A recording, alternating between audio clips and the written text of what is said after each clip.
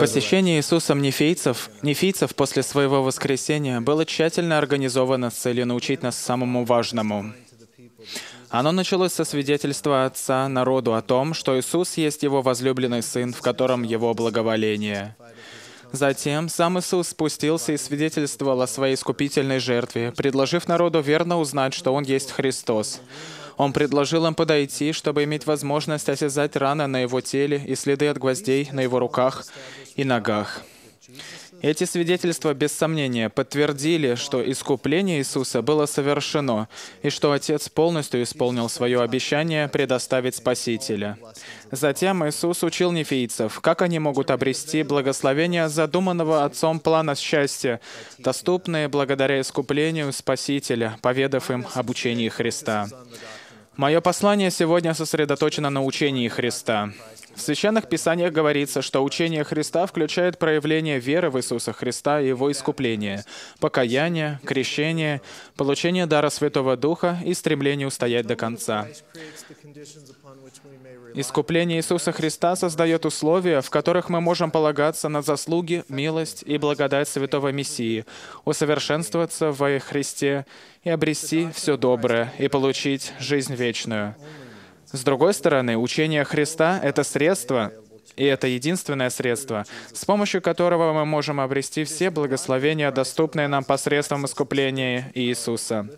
Именно благодаря учению Христа мы можем получить доступ к духовной силе, которая возвысит нас из нашего нынешнего духовного состояния в состояние, в котором мы сможем стать совершенными подобно Спасителю.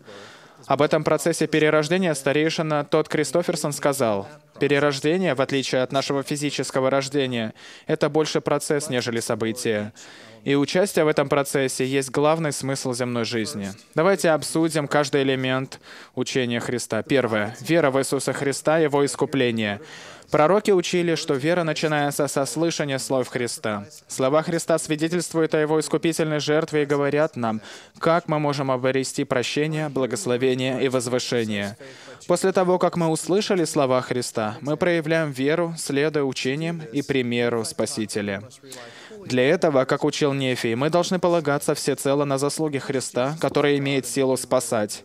Поскольку Иисус был Богом в приземном существовании, прожил безгрешную, жизнь и в ходе совершения искупления удовлетворил все требования правосудия для меня и для вас, он обладает силой и ключами совершить воскресение для всего человечества, и благодаря Нему милость теперь может взять верх над правосудием на условиях покаяния.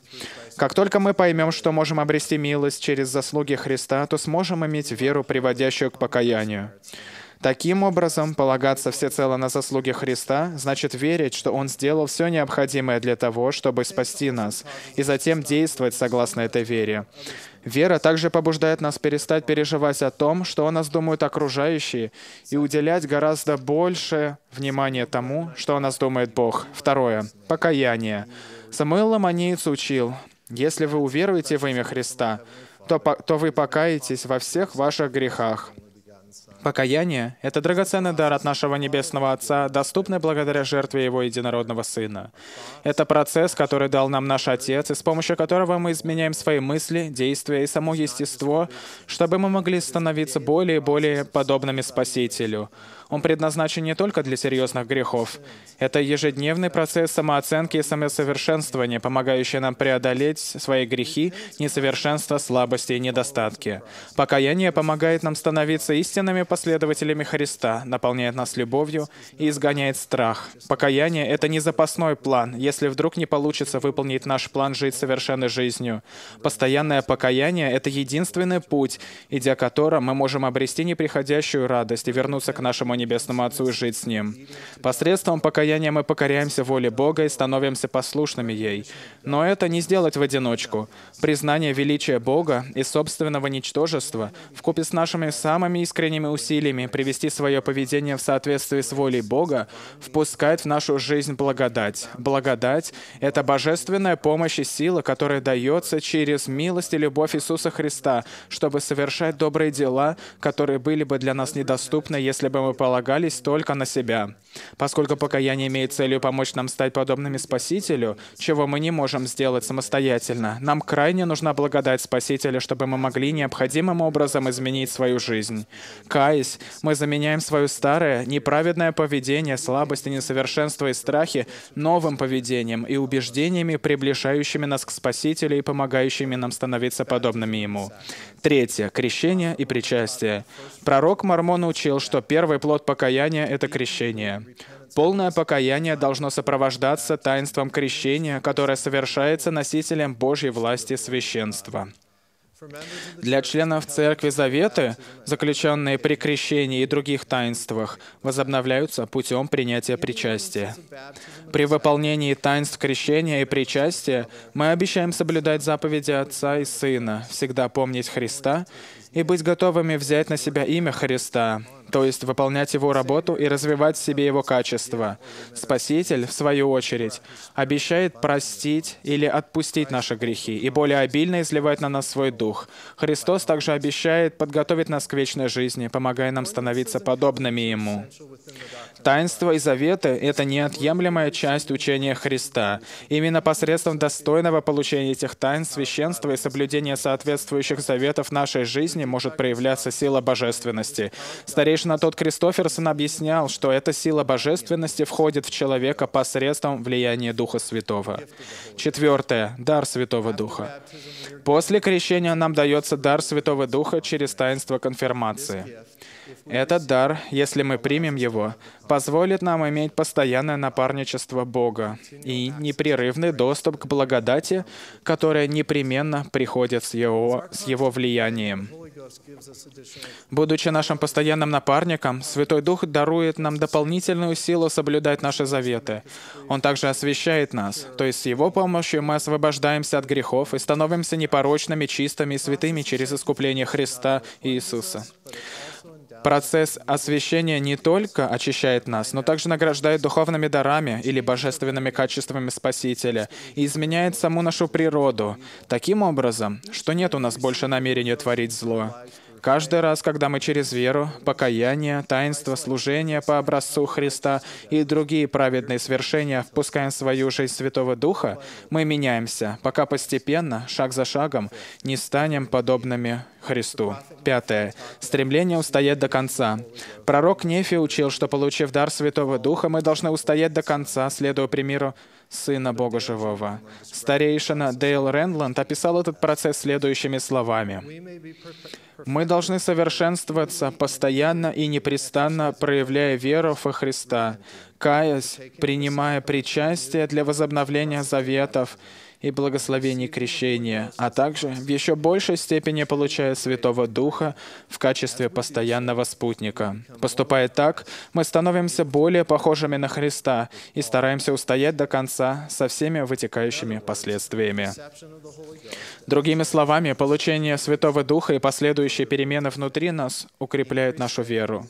Возросшая вера ведет к дополнительному покаянию, и, принося свое сердце и грехи в символическую жертву на алтаре причастия, мы в еще большей степени получаем Святого Духа. Получение Святого Духа в еще большей степени направляет нас по пути перерождения.